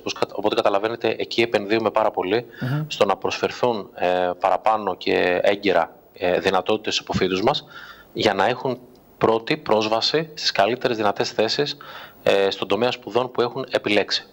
Ε, λίγο για τις ε, σπουδές να πούμε ότι είναι διετής ο κύκλος ε, φίτησης, είναι τέσσερα εξάμεινα. Υπάρχει ένα πέμπτο υποχρεωτικό εξάμεινο πρακτικής άσκησης, ε, το οποίο αρχικά εξυπηρετεί το γραφείο σταδιοδρομίας στους σπουδαστές μας για να βρουν που θα κάνουν την πρακτική τους άσκηση, διοργανώνοντας μάλιστα κάθε χρόνο τις ημέρες καριέρας, ώστε να γνωρίζουν τις επιχειρήσεις σε κάθε πόλη μέσα στο προστατευμένο και οικείο περιβάλλον της σχολής τους. Αλλά πέρα από την έβρεση της πρακτικής άσκησης, μετά το γραφείο σταδιοδρομίας συνεχίζει να είναι αρρωγός σε όλη τη διάρκεια της επαγγελματικής πορείας. Ε, να μιλήσουμε λίγο για τις ειδικότητες. 85 ειδικότητες, πάρα πολλοί τομείς σπουδών. Είναι ειδικότητες οι οποίες ανταποκρίνονται στο σημερινό γίγνεσθε πάνω απ' όλα. Σωστά. Είναι πάνω από 85 ειδικότητες, έχετε δίκιο. Είναι μοιρασμένες σε 12 τομείς σπουδών, αρκετά έτσι ετερόκλητες μετα, μεταξύ τους. Ε, ξεκινάμε από τη γαστρονομία, τα τουριστικά επαγγέλματα, τα τεχνικά επαγγέλματα, τη μηχανολογία και τα υπόλοιπα, την πληροφορική, τα επαγγέλματα που έχουν να κάνουν με τη μόδα και την ομορφιά, με τις εφαρμοσμένες τέχνες, ε, με τα παραγιατρικά επαγγέλματα, τα επαγγέλματα υγείας και αθλητισμού, ε, τα επαγγέλματα που, και τους τομείς σπουδών που αφορούν στην οικονομία και διοίκηση, στα καλλιτεχνικά επαγγέλματα, performing arts όπως τα ονομάζουμε, και στην αγροτική κατάρτιση, ε, στην οποία πιστεύουμε πάρα πολύ, πιστεύουμε πάρα πολύ στην πρωτογενή παραγωγή.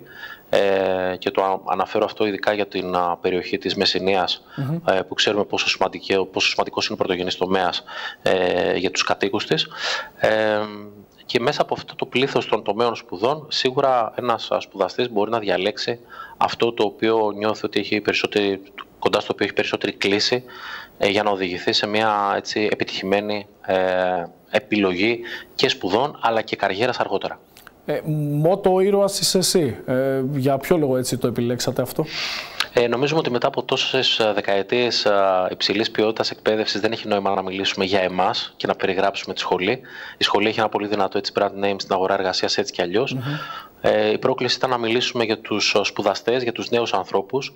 Όταν το σχεδιάζαμε, ξέρετε, ότι όταν σχεδιάζαμε τη φετινή μας καμπάνια το Δεκέμβριο του 2019, δεν μπορούσαμε να φανταστούμε ότι η συνθήκη του κορονοϊού θα έφερνε τόσο πολύ στο προσκήνιο τη λέξη ήρωας.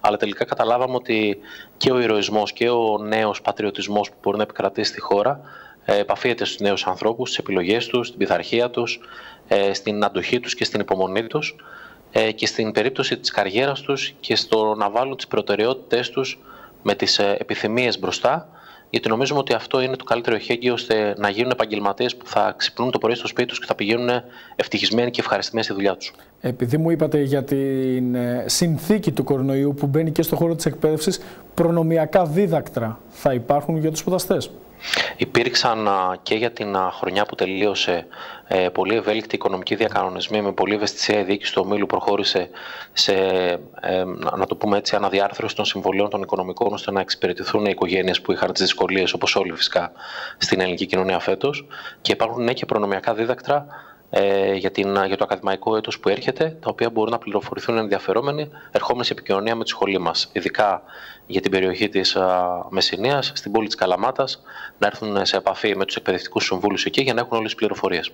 Άρα, ο, ο, ένας απλός ε, πολίτης που θέλει, σπουδαστής, νέος άνθρωπος, μπορεί να βρεθεί σε εγκαταστάσεις, πέρα από την ξενάγηση που μπορεί να γίνει, να πάρει ειδικές πληροφορίες Εγώ θα πω να πάρει και συμβουλές λίγο πολύ. Ε, γιατί να, κάνει μια, να θα έλεγα να κάνει μια ειλικρινή σχετικά με το που βρίσκεται μέχρι τώρα σε επίπεδο έτσι, ακαδημαϊκού υπόβαθρου, να το πω έτσι, αλλά κυρίως ό,τι έχει να κάνει με τις επιθυμίες του και τις κλήσεις του, για να έχει και ειλικρινείς απαντήσεις όσον αφορά το τι συμβαίνει αυτή τη στιγμή στην αγορά εργασίας και να βγει και με τα κατάλληλα προσόντα. Γιατί αυτό είναι το κρίσιμο ζήτημα σε αυτή τη δύσκολη εποχή. Να σας ευχαριστήσω πάρα πολύ. Εγώ σας ευχαριστώ. Να πούμε ότι έχει τη δυνατότητα ο κόσμος να επισκεφτεί τις εγκαταστάσεις του ΙΕΚ ΔΕΛΤΑ 360 εδώ στην πόλη της Καλαμάτας. Και το Εξε... site μας. Εξαιρετικές στο... εγκαταστάσεις. Αυτό ναι, ναι. το σημειώνω και εγώ γιατί έχω είναι ένα, είναι ένα εξαιρετικό κτίριο πραγματικά και είναι μια ε, από τις πιο όμορφες δομές μας η δομή τη Καλαμάτας. Ε, έχω τύχει έτσι να την έχω γνωρίσει από τη γέννησή της.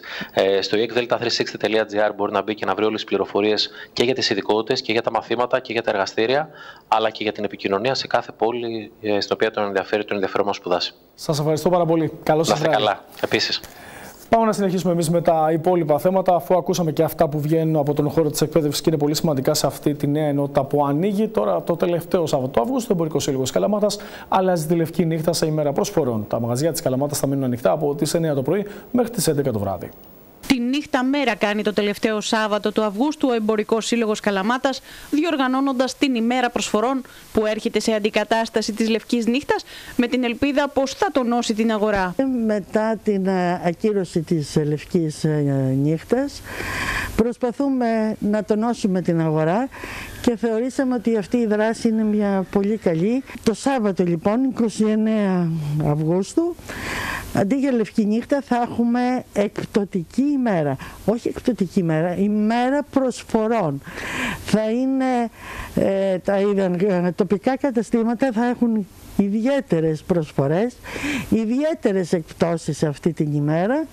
Η Λευκή Νύχτα ήταν μεγάλος τόνος για την αγορά, έβγαινε ο κόσμος ψώνιζε, ήταν προσφορές και για αυτούς τους καταναλωτές και για τα καταστήματα.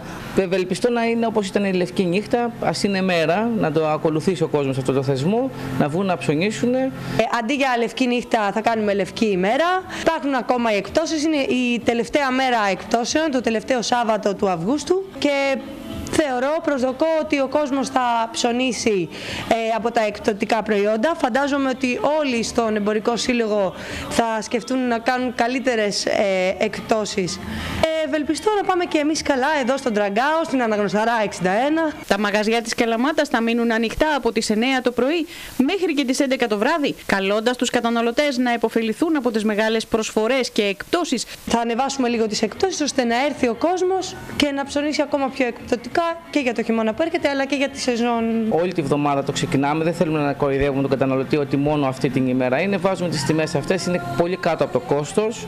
Ε, είναι για να φύγουν τα ρούχα σε εμάς. Είναι και ο καταναλωτής να βρει κάποιες μεγάλες προσφορές. Πιστά θα τηρούνται βεβαίως καθ' όλη τη διάρκεια της ημέρας τα μέτρα προστασίας σχετικά με τον κορονοϊό. Θα γίνει με όλες τις προφυλάσει που απαιτεί πολιτική προστασία. Και για να μην υπάρξει συνοστισμός, θα είναι συνεχές το ωράριο από τις 9 το πρωί ως τις 11 το βράδυ. Θα πρέπει όλος ο κόσμος να φοράει μάσκα, να προσαρμοστεί σε αυτά τα μέτρα, καθώς θα εισέρχεται μέσα στα εμπορικά καταστήματα. Ε, επίσης ε, θα είναι ε, σχετικά λίγα τα άτομα τα οποία θα βρίσκονται μέσα στο κάθε κατάστημα. Αν γίνει αυτό θα αποφευθεί και ο συγχρονισμός. Τα ρούχα έχουμε ειδικό μηχάνημα τα οποία τα καθαρίζουμε κάθε φορά που φοράει κάποιος πελάτης. Δεν χρειάζεται να φοβόμαστε να βγούμε να ψωνίσουμε, να πάμε να φάμε, δεν χρειάζεται τίποτα από όλα αυτά. Όταν παίρνουμε κατάλληλα μέτρα προστασίας, δεν έχουμε να φοβηθούμε κάτι. Καλό λοιπόν όλο τον κόσμο και από το νομό Μεσσηνίας και από τους όμορους νομούς να μας επισκεφτούν το Σάββατο και θα διαπιστώσουν ότι θα κάνουν τις καλύτερες αγορές που έχουν κάνει ποτέ. Αυτά από τον εμπορικό κόσμο εμείς ε, στα αγροτικά ζητήματα είδαμε και χθες ε, και σήμερα αυτά που βγαίνουν από την παρέμβαση της οικής νέα δυναμική και στις τιμές, όσο αυτό είναι δυνατό. Στην άκρη της τηλεφωνικής μας επικοινωνίας, ο πρόεδρος της ΕΚΙ, ο κ. Παναγιώτης Παπαγεωργίου. Καλησπέρα σας. Καλησπέρα κύριε Κανελόπουλο, σε εσάς και τους ακροατάς σας. Κύριε Παπαγεωργίου, ε, επιλογή από τη ΣΥΚΙ να καθιερώνει, θα λέει κανείς, στα ψηλά τις ε, τιμές των ΣΥΚΟΝ. Για ποιο λόγο προχωρήσατε σε αυτή την παρέμβαση; Ε, εδώ και πάνω από 20 χρόνια, από το 98 και μετά, εμείς είμαστε αυτοί που καθορίζουμε τις τιμές, από τότε που δημιουργήσαμε την ομάδα παραγωγών, που κάνουμε τη συγκέντρωση του ΣΥΚΟΥ και τη διάθεση και στους μεταπαιδητές και τυποποιούμε περίπου το 45 με 50%. Από εκεί και μετά έχουμε ε, μια στρατηγική που κάθε χρόνο σε συνεργασία με τους πελάτες μας, με κάποιους μεταποιητές ε, και παίρνουμε την ευθύνη εμείς και προχωράμε στη ανακοίνωση των τιμών. Υπάρχουν τα περιθώρια να δοθούν αυτές τις τιμές, τώρα σας ρωτάω, ε, και να δουν κάτι καλύτερο η παραγωγή και στο μέλλον. Ε, γιατί αυτή τη στιγμή η πρώτη ποιότητα έχει φτάσει στο 2,2. Ε, δεν άκουσα καλά. Αν υπάρχουν αυτά τα περιθώρια να δοθούν ακόμα καλύτερες τιμές και στο μέλλον, γιατί βλέπω σταδιακά χρόνο με το χρόνο η πρώτη ποιότητα ανεβαίνει. Έχει φτάσει στα 2,2 τώρα. Ειδικά, ειδικά οι, οι, πρώτοι, οι καλές ποιότητες ε, α, α, ανταμείβονται και σωστή καλή παραγωγή. Γιατί οι καλές ποιότητες, η Α και η Β, πάνε σε αγορές που είναι ε, όπως στην Αμερική, στην Αυστραλία, στην Αγγλία, σε χώρες προηγμένες που διαθέτουν χρήμα. Οι χαμηλότερες τιμές πάνε σε άλλες χώρες που ε, διαθέτουν λιγότερα χρήματα στην αγορά και δεν υπάρχει ζήτηση τόσο μεγάλη, τόσο υψηλή. Πολλές φορές τις χαμηλές ποιότητες μπορεί να, να πάθουμε και ζημιά. Ναι. Ο παραγωγός όμως δεν την παθαίνει. Τη ζημιά την παθαίνει ο μεταποιητής και κατά κύριο ο, ο μεγαλύτερος παράγοντας, όποτε έχει μείνει σίκα, θα έχουν μείνει στα χέρια της υγικής. Κύριε Παπαγεωργίου, ε, φέτος υπάρχουν καλές ποιότητες; Έχουμε και καλές ποιότητες, αλλά υπάρχει πρόβλημα γενικά με το σίκο. Και ποιοτικό και ποσοτικό. ποσοτικό. Ε, έχουν, μερικά περβόλια έχουν πάρει πάρα πολύ ζημιά ε, από την ανοβρία που έχουμε, από τους κάψονες που έκανε.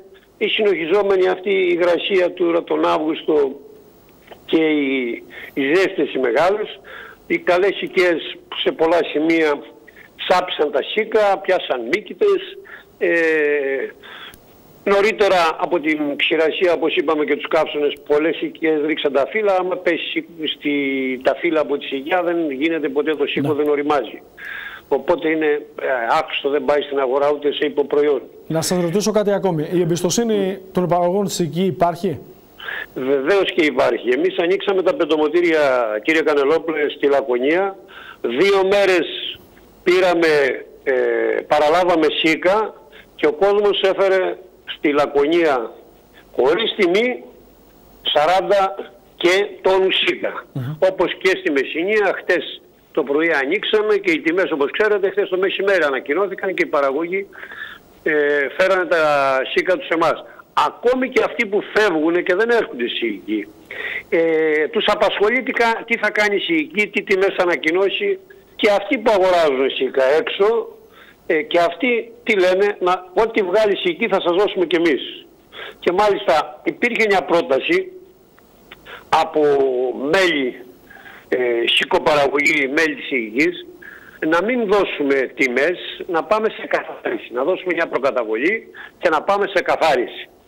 Ε, ήταν λίγο τεχνικός δύσκολο να γίνει, όμως μπορούσε να γίνει, αλλά στο τέλος ξέρεις ποιο θα ήταν το αποτέλεσμα θα χανόντουσαν λεφτά από όλους και θα μένανε σίκα στους σικοπαραγωγούς.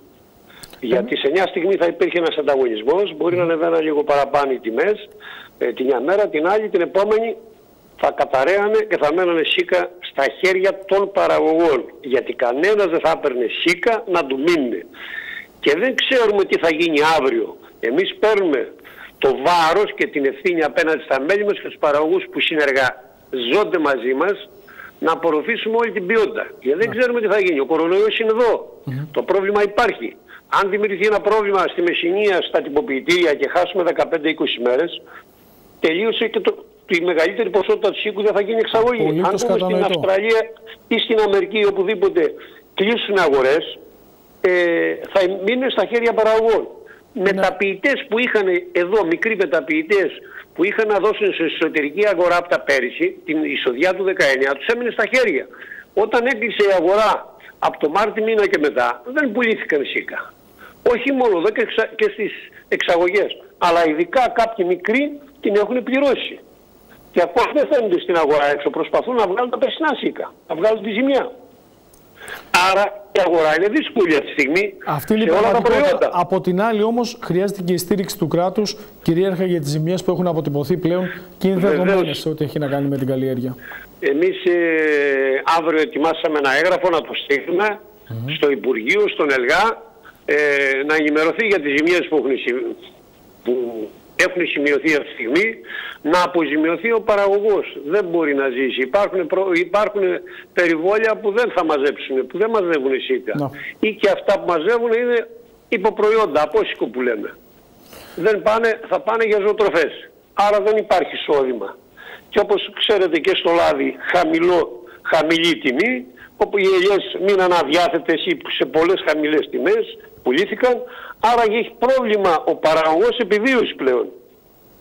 Κατανοητό. Και πρέπει, και πρέπει ο ΕΛΓΑ, πρέπει το Υπουργείο να σκύψει το κεφάλι, να δει το πρόβλημα ε, των σκοπαραγωγών. Κύριε Παπαγεωργίου, να σας ευχαριστήσω πάρα πολύ για αυτή την παρέμβαση. Και εγώ ευχαριστώ πάρα πολύ. Να είστε καλά. Πάμε στα υπόλοιπα ζητήματα με ξεχωριστές να είναι κοινεί από τους ομογενείς. Ο Δραστήριος Σύλλογος των Μεσηνίων της Νέας Υόρκης, ο Αριστομένης, προσέφερε σήμερα στη διάθεση πυροσβεστικής υπηρεσίας της Καλαμάτας ένα δώρο ζωής σε έναν απεινιδωτή.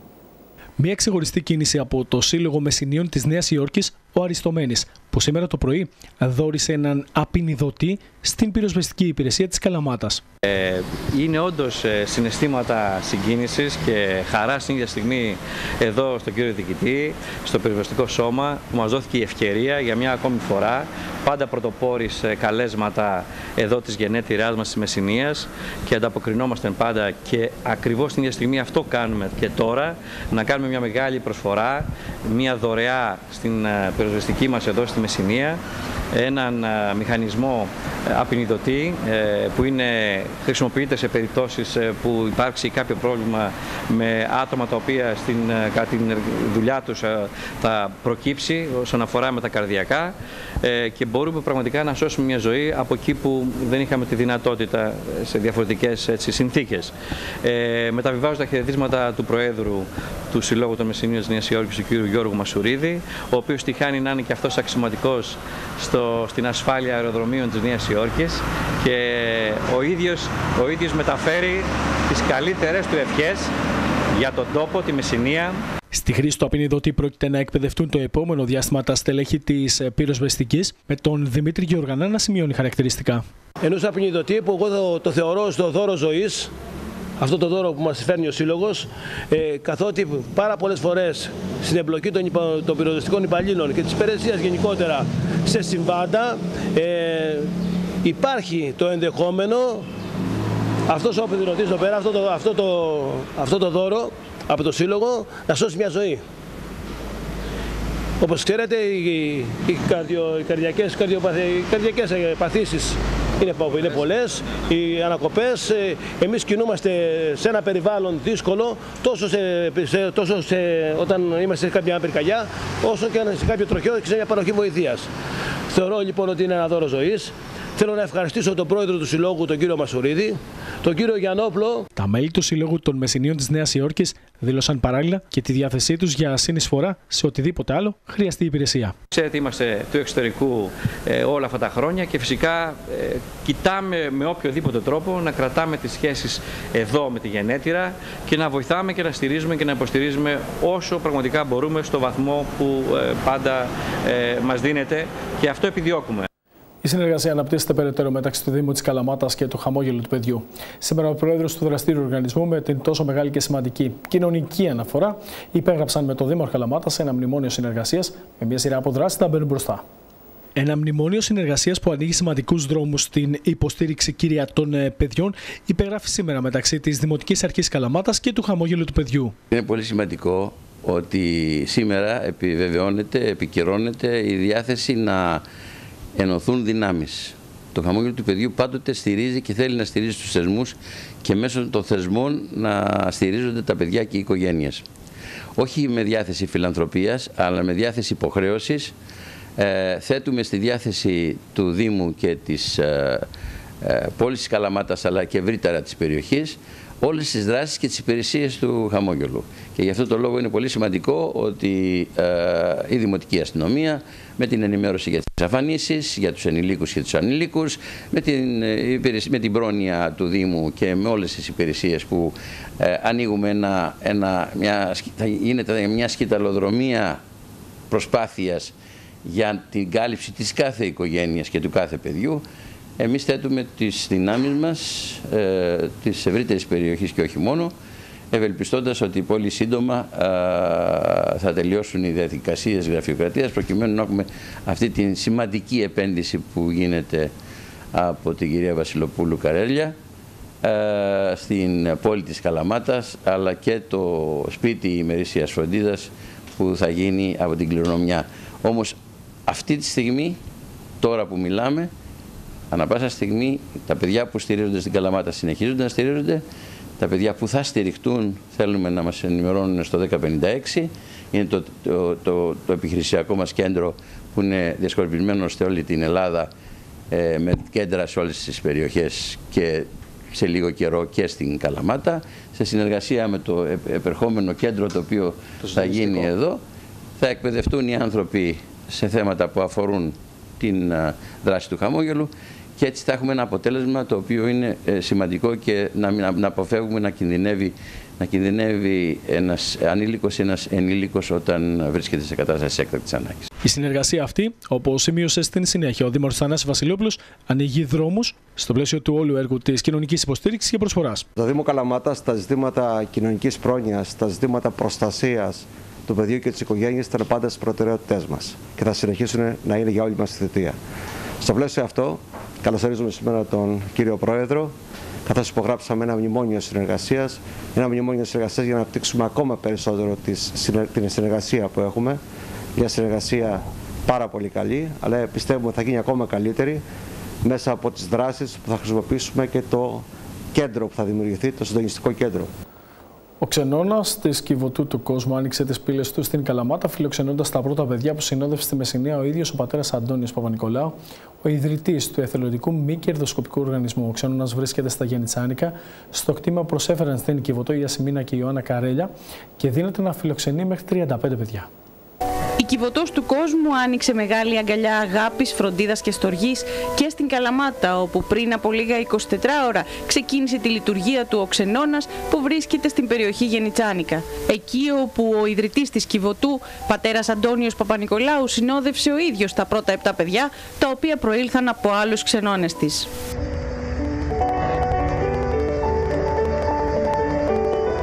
Ξενώνα τη Καλαμάτας, που αποτελεί έδρα του παραρτήματος Πελοποννήσου, δύναται να φιλοξενεί μέχρι 35 παιδιά από 4 έως και 12 ετών.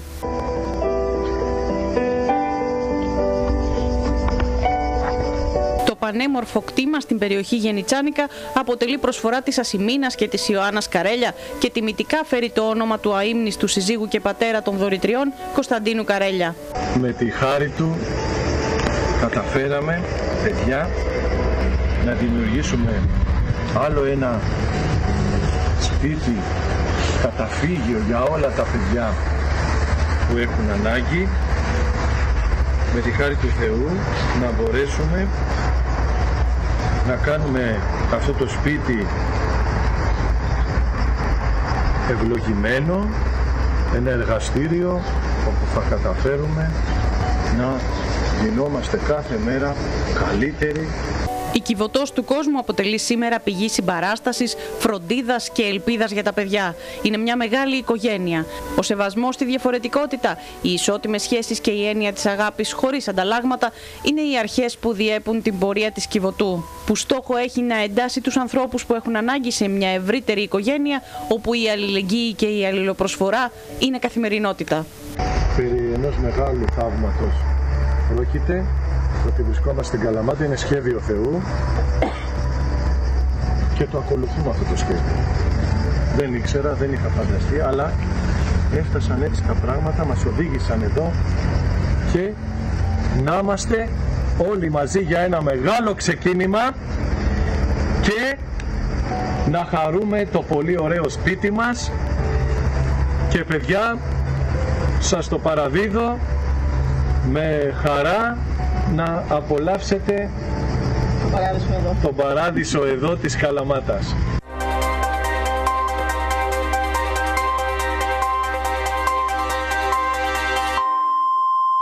Πάμε σε νέα από τον κόσμο. Νέο όπλο στη μάχη κατά της COVID-19 φαίνεται ότι βρέθηκε ο λόγος για τον κυκλικό επιταχυντή σωματιδίων που εγκαινιάστηκε στην Κρινόμπλ και οι επιστήμονες ελπίζουν να τους βοηθήσει στη μάχη κατά του κορονοϊού. Το πιο ισχυρό σύγχρονο στον κόσμο εγκαινιάζεται στην Γκρενόμπλ.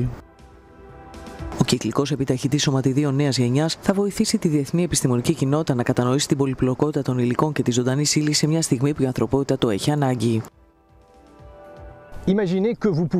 Φανταστείτε ότι θα μπορούσατε να κάνετε zoom σε οτιδήποτε, όπως αυτός ο βράχος για παράδειγμα, μέχρι να δείτε την ύλη σε ατομικό επίπεδο. Αυτός είναι ο στόχος αυτού του τεράστιου δακτυλίου πίσω μου με περιφέρεια περίπου ενός χιλιόμετρου. Τώρα ας πάμε μέσα για να δούμε πώς θα μπορούσε να μας βοηθήσει στη μάχη για ένα εμβόλιο για την COVID-19. Το Euronews έχει προσκληθεί να βιντεοσκοπήσει μέσα στον επιταχυντή σωματιδίων από το σχεδιαστή της νέας γενιάς αυτού του εξαιρετικά ισχυρού μικροσκοπίου, τον επιστήμονα Πανταλέο Ρεϊμόντι. Σε αυτό το κυκλικό σωλήνα τα ηλεκτρόνια επιταχύνονται για να παράγουν ακτίνες 10.000 εκατομμύρια φορές πιο ισχυρές από τον ιατρικό εξοπλισμό.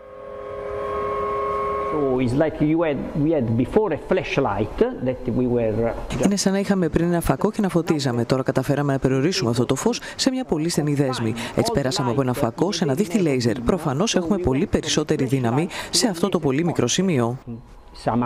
So, and obviously you have way, way more power in this very tiny spot. Ο επιταχυντής σωματιδίων μπορεί να βοηθήσει σε διάφορα πεδία, από την παρατήρηση της αναρρύπανση στο έδαφος μέχρι την αποκάλυψη παλαιοντολογικών μυστικών. Αλλά και στην κατανόηση των ιών. Χάρη στα όργανα τους, αυτοί οι επιστήμονες δημιουργούν τρισδιάστατα σχέδια των πρωτεϊνών που χρησιμοποιεί ο κορονοϊός για να πολλαπλασιαστεί και να παραμείνει σε ζωντανούς ιστούς.